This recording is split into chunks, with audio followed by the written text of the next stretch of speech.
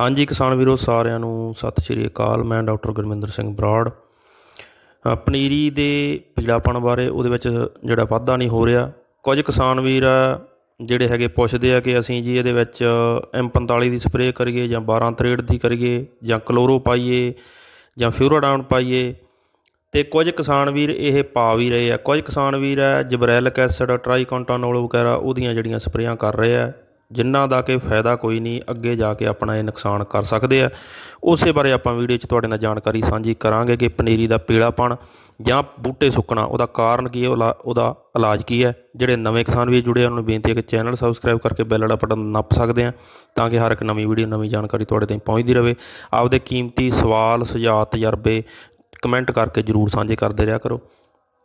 ਪਨੀਰੀ ਦੇ ਵਿੱਚ ਕਿਸਾਨ ਵੀਰੋ ਬਹੁਤੀਆਂ ਸਮੱਸਿਆਵਾਂ ਨਹੀਂ ਆਉਂਦੀਆਂ। ਮੁੱਖ ਤੌਰ ਤੇ ਤਿੰਨ ਤੋਂ ਚਾਰ ਸਮੱਸਿਆਵਾਂ। ਪਹਿਲੀ ਗੱਲ ਤਾਂ ਕਿਉਂਕਿ ਲਗਾਤਾਰ ਆਪਾਂ ਪਾਣੀ ਨਹੀਂ ਖੜਾ ਰੱਖਦੇ ਲੋਹਾ ਤੱਤ ਦੀ ਘਾਟ ਆਉਣੀ ਲਾਜ਼ਮੀ ਹੈ। ਦੌਗੀਆਂ ਦੇ ਵਿੱਚ ਪੀਲਾਪਣ ਜਿਹੜਾ ਤੁਸੀਂ ਕਹਿੰਦੇ ਹੁੰਦੇ ਆ ਜਾਂ ਦੂਰੋਂ ਦੂਰੋਂ ਲਸਰਾਂ ਦੇ ਵਿੱਚ ਕਿਤੇ ਕਿਤੇ ਅ, ਧੌੜੀਆਂ ਦੇ ਵਿੱਚ ਪੀਲਾਪਣ ਨਜ਼ਰ ਆਉਂਦਾ ਲੋਹਾ ਤੱਤ ਦੀ ਘਾਟ ਹੈ ਇਹਦੇ ਵਿੱਚ ਆਉਣੀ ਸੁਭਾਵਿਕ ਵੀ ਹੈ। ਕਿਉਂਕਿ ਆਪਾਂ ਲਗਾਤਾਰ ਇਹਦੇ ਵਿੱਚ ਪਾਣੀ ਖੜਾ ਨਹੀਂ ਰੱਖਦੇ ਤੇ ਨਾ ਹੀ ਰੱਖਣਾ ਚਾਹੀਦਾ ਸੋ ਲੋਹਾ ਤੱਤ ਜਿੱਥੇ ਪੀਲਾਪਣ ਨਜ਼ਰ ਆਉਂਦਾ ਦੌਗੀਆਂ ਦੇ ਵਿੱਚ ਤੁਹਾਨੂੰ, ਉੱਥੇ ਲੋਹਾ ਤੱਤ ਦੀ ਸਪਰੇਅ ਕਰਨੀ ਫੈਰਸ ਸਲਫੇਟ 19% ਆਉਂਦਾ ਹੈ ਤੇ ਫੈਰਸ ਸਲਫੇਟ ਚਿਲੇਟਡ EDTA 12% ਵੀ ਆਉਂਦਾ। ਤੁਸੀਂ ਜਿਹੜਾ ਮਰਜ਼ੀ ਵਰਤ ਸਕਦੇ ਹੋ। 19% ਵਰਤਣਾ ਤਾਂ ਤੁਸੀਂ 5-6 ਗ੍ਰਾਮ ਤੋਂ ਲੈ ਕੇ 10 ਗ੍ਰਾਮ ਪ੍ਰਤੀ ਲੀਟਰ ਪਾਣੀ ਵਰਤ ਸਕਦੇ ਆ। ਪਾਣੀ ਤੁਹਾਨੂੰ ਜੇ ਮੰਨ ਲਓ ਕਨਾਲ ਦੇ ਵਿੱਚ ਤੁਹਾਡਾ 10 ਤੋਂ 15 ਲੀਟਰ ਪਾਣੀ ਲੱਗਦਾ ਤਾਂ ਉਸ ਹਿਸਾਬ ਨਾਲ ਤੁਸੀਂ 100 ਤੋਂ 150 ਗ੍ਰਾਮ ਪ੍ਰਤੀ ਟੈਂਕੀ ਵਰਤ ਸਕਦੇ ਹੋ।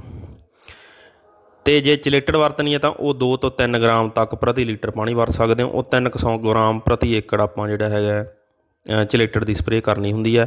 ਲੋਹਾ ਤੱਤ ਦੀਆਂ ਸਪਰੇਆਂ ਘੱਟੋ ਘੱਟ 2 ਤੋਂ 3 ਕਰੋ 5 ਤੋਂ 7 ਦਿਨ ਦੇ ਗੈਪ ਤੇ ਤੁਹਾਡੀ ਦਿਨਾਂ ਦੇ ਵਿੱਚ ਪਨੀਰੀ ਦੀ ਗਰੋਥ ਹੋਊਗੀ ਤੇ ਪੀਲਾਪਣ ਜਿਹੜਾ ਹੈਗਾ ਖਤਮ ਹੋ ਜਾਊਗਾ।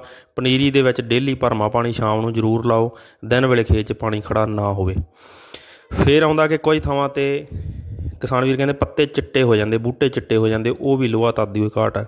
ਕਈ ਵਾਰ ਪੂਰਾ ਬੂਟਾ ਜਿਹੜਾ ਪਹਿਲਾਂ ਪੀਲਾ ਹੋ ਕੇ ਫਿਰ ਚਿੱਟਾ ਹੋ ਜਾਂਦਾ, ਉਹ ਵੀ ਲੋਹਾ ਤੱਤ ਦੀ ਘਾਟ ਆ, ਉਹਦੇ ਵਿੱਚ ਵੀ ਤੁਸੀਂ ਇਹੀ ਫੈਰਸ ਸਲਫੇਟ ਲੋਹਾ ਤੱਤ 19% ਇਹਦੀ ਤੁਸੀਂ ਸਪਰੇਅ ਕਰਨੀ ਆ। ਜ਼ਮੀਨ 'ਚ ਪਾਏ ਦਾ ਬਿਲਕੁਲ ਫਾਇਦਾ ਨਹੀਂ ਹੈਗਾ। ਨੰਬਰ 2 ਤੇ, ਕਿਤੇ ਕਿਤੇ ਦੌਗੀਆਂ ਦੇ ਵਿੱਚ ਕਈ ਵਾਰ ਪੱਤੇ ਜਿਹੜੇ ਬੂਟੇ ਜੰਗਾਲੇ ਹੋ ਜਾਂਦੇ ਆ, ਜਾਂ ਬੂਟਿਆਂ ਦਾ ਜਿਹੜਾ ਹੈਗਾ ਅੱਧ ਵਿਚਾਲਿਓਂ ਪੱਤਾ ਜਿਹੜਾ ਹੈਗਾ, ਟੁੱਟ ਜਾਂਦਾ, ਕਈ ਵਾਰ ਸੁੱਕ ਜਾਂਦਾ ਬੂਟਾ ਭੂਰਾ ਜਿਹਾ ਹੋ ਕੇ। ਉਹ ਹੈਗੀ ਜ਼ਿੰਕ ਤੱਤ ਦੀ ਕਾਟ ਉਹ ਵੀ ਦੌਗੀਆਂ ਦੇ ਵਿੱਚ ਆਉਂਦੀ ਹੈ, ਧੌੜੀਆਂ ਦੇ ਵਿੱਚ ਆਉਂਦੀ ਹੈ। ਜ਼ਿੰਕ ਸਲਫੇਟ 21% ਤੁਸੀਂ 5 ਕਿਲੋ ਕਨਾਲ ਮਗਰ ਪਾ ਸਕਦੇ ਹੋ ਥੱਲੇ। ਰੇਤਾ ਚ ਰਲਾ ਕੇ ਜਿਹੜਾ ਹੈਗਾ ਜ਼ਮੀਨ ਦੇ ਵਿੱਚ ਸ਼ਾਮ ਨੂੰ ਤੁਸੀਂ ਪਨੀਰ ਦੇ ਵਿੱਚ ਛਿੱਟਾ ਦੇ ਸਕਦੇ ਹੋ। 33% ਪਾਉਣਾ ਦਾ 3 ਕਿਲੋ ਪ੍ਰਤੀ ਕਨਾਲ ਪਾ ਸਕਦੇ ਹੋ। ਜੇ ਸਪਰੇਅ ਕਰਨੀ ਹੈ ਤਾਂ 21% 5 ਤੋਂ 10 ਗ੍ਰਾਮ ਪ੍ਰਤੀ ਲੀਟਰ ਪਾਣੀ ਉਹਦੀ ਸਪਰੇਅ ਕਰ ਸਕਦੇ ਹੋ। ਜੇ 33% ਦੀ ਸਪਰੇਅ ਕਰਨੀ ਹੈ ਤਾਂ 3 ਗ੍ਰਾਮ ਪ੍ਰਤੀ ਲੀਟਰ ਪਾਣੀ ਉਹਦੀ ਸਪਰੇਅ ਕਰ ਸਕਦੇ ਹੋ।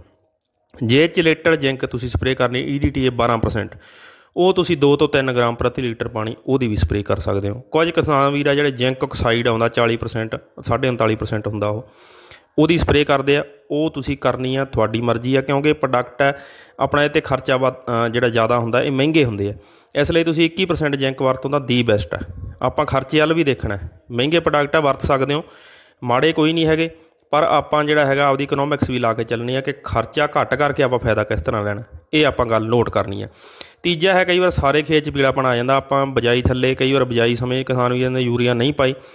ਜੇ ਯੂਰੀਆ ਨਹੀਂ ਪਾਈ ਤਾਂ 8-10 ਦਿਨ ਬਾਅਦ ਪਾ ਸਕਦੇ ਆ 12 ਦਿਨ ਤੇ 15 ਦਿਨ ਤੇ ਜਿਹੜੀ ਤੁਸੀਂ ਪਾ ਸਕਦੇ ਹੋ। ਜਿਹੜੀ ਜਿੱਥੇ ਬਜਾਈ ਸਮੇਂ ਪਾਈ ਆ ਤਾਂ 15 ਦਿਨ ਤੇ ਦੂਜੀ ਡੋਜ਼ ਦੇਣੀ ਯੂਰੀਆ ਦੀ। ਸ਼ਾਮ ਨੂੰ ਤੁਸੀਂ ਜਿਹੜਾ ਹੈਗਾ ਉਹਦਾ ਛਿੱਟਾ ਦੇ ਸਕਦੇ ਹੋ। ਖੇਤ ਦੇ ਵਿੱਚ ਜਿਹੜਾ ਹੈਗਾ ਪਾਣੀ, ਕੋਸ਼ਿਸ਼ ਕਰੋ ਕਿ ਜਦੋਂ ਯੂਰੀਆ ਪਾਉਣੀ ਆ, ਖੇਤ ਦੇ ਵਿੱਚ ਪਾਣੀ ਖੜਾ ਨਾ ਹੋਵੇ ਤੇ ਅਗਲੇ ਦਿਨ ਤੁਸੀਂ ਜਿਹੜਾ ਹੈਗਾ ਖੇਤ ਦੇ ਵਿੱਚ ਪਾਣੀ ਛੱਡ ਸਕਦੇ ਹੋ।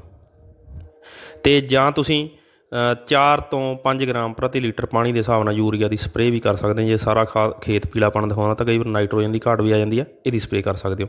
ਕਈ ਵਾਰ ਪਨੀਰੀ ਆ ਜਿਹੜੀ ਦੋਗੀਆਂ 'ਚ ਸੁੱਕਣ ਲਿਆ- ਲੱਗ ਪੈਂਦੀ ਆ, ਸਾਰੇ ਤੱਤਾਂ ਦੀ ਸਪਰੇਅ ਕਰ ਲਈ। ਕਈ ਵਾਰ ਪਨੀਰੀ ਤੁਸੀਂ ਪੁੱਟ ਕੇ ਦੇਖੋਗੇ ਜੜ ਦੇ ਵਿੱਚ ਥੋੜੀਆਂ ਥੋੜੀਆਂ ਗੰਢਾਂ ਬਣ ਜਾਂਦੀਆਂ। ਕਈ ਵਾਰ ਨਿਮਾਟੋਡ ਦੀ ਸਮੱਸਿਆ ਆਉਂਦੀ ਹੈ ਹਲਕੀਆਂ ਜ਼ਮੀਨਾਂ 'ਚ ਜਾਂ ਖਾਸ ਤੌਰ ਤੇ ਇੱਥੇ ਸੇਮ ਵਾਲਾ ਏਰੀਆ ਉੱਥੇ ਨਿਮਾਟੋਡ ਦੀ ਸਮੱਸਿਆ ਆਉਣ ਲੱਗ ਪੈਂਦੀ ਆ।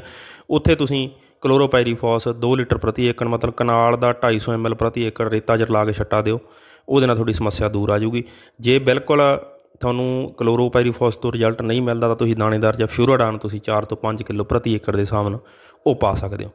ਜਿੱਥੇ ਨੇਮਾਟੋਡ ਦੀ ਸਮੱਸਿਆ ਹੈਗੀ ਹੈ, ਬਿਨਾਂ ਕਿਸੇ ਸਮੱਸਿਆ ਤੋਂ ਆਪਾਂ ਬਿਲਕੁਲ ਵੀ ਕਿਸੇ ਕਿਸਮ ਦਾ ਕੀਟਨਾਸ਼ਕ ਜ਼ਮੀਨ ਦੇ ਵਿੱਚ ਨਹੀਂ ਪਾਉਣਾ। ਮੁੱਖ ਤੌਰ ਤੇ ਦੋ ਹੀ ਘੱਟ ਆਉਂਦੀਆਂ ਤੇ ਦੋ ਹੀ ਤੁਹਾਨੂੰ ਮੈਂ ਸਪਰੇਆਂ ਦੱਸੀਆਂ, ਲੋਹਾ ਤੱਤ ਤੇ ਜ਼ਿੰਕ ਤੱਤ। ਇਹਦੀਆਂ ਤੁਸੀਂ ਤਿੰਨ ਸਪਰੇਆਂ ਪਨੀਰੀ ਤੇ ਕਰ ਦਿਓ। ਤੁਹਾਨੂੰ ਹੋਰ ਕਿਸੇ ਕਿਸਮ ਦੇ ਕੋਈ ਪ੍ਰੋਡਕਟ ਪਾਉਣ ਦੀ ਜ਼ਰੂਰਤ ਫਸਲ ਦੇ ਵਿੱਚ, ਪਨੀਰੀ ਦੇ ਵਿੱਚ ਨਹੀਂ ਪਊਗੀ।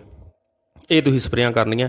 ਤੇ ਦੂਜੇ ਚੌਥੇ ਦਿਨ ਜਿਹੜਾ ਸਾਫ਼ ਪਾਣੀ ਦੀ ਸ਼ਾਮ ਨੂੰ ਸਪਰੇਅ ਕਰ ਦਿਓ ਤਾਂ ਕਿ ਧੂੜ ਮਿੱਟੀ ਜਿਹੜੀ ਪਨੀਰੀ ਦੇ ਉੱਤੇ ਜੰਮੀ ਹੁੰਦੀ ਆ, ਉਹ ਜਿਹੜੀ ਲੈ ਜਾਵੇ ਤੇ ਪਨੀਰੀ ਦੇ ਵਿੱਚ ਜਿਹੜਾ ਹੈਗਾ ਫੋਟੋਸਿੰਥੈਸਿਸ ਪ੍ਰੋਪਰ ਹੋਵੇ ਤੇ ਬੂਟੇ ਆਪਦਾ ਭੋਜਨ ਬਣਾ ਸਕਣ ਤੇ ਰੈਗੂਲਰ ਉਹਨਾਂ ਦੀ ਗਰੋਥ ਹੁੰਦੀ ਰਹੇ ਇਹ ਦੋ ਤਿੰਨ ਨੁਕਤੇ ਆ ਕਿਸਾਨ ਵੀਰੋ, ਕੋਈ ਬੜਾ ਲੰਮਾ ਚੌੜਾ ਕੰਮ ਹੈ ਨਹੀਂ। ਆਮ ਤੌਰ ਤੇ ਕਿਸਾਨ ਵੀਰ ਨੂੰ ਡੋਜ਼ ਜਾਂ ਸਹੀ ਪਤਾ ਹੀ ਨਹੀਂ ਲੱਗਦਾ ਵੀ ਲੋਹਾ ਤੱਤ ਦੀ ਘਾਟ ਆ ਕਿ ਜਿੰਕ ਦੀ ਆ ਜਾਂ ਇਹਦੇ ਵਿੱਚ ਕੋਈ ਕੀੜਾ ਮਕੌੜਾ।